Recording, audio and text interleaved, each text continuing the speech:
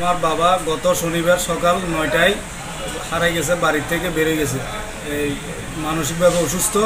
উনি বাবার নাম আবুল কালাম।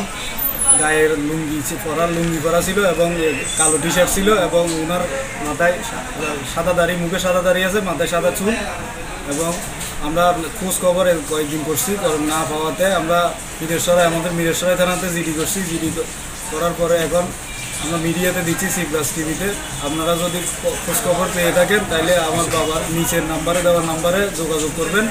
আপনাদেরকে যথাসম্ভব সম্মান করা হবে। নাম সম্পর্কে আমি মামন।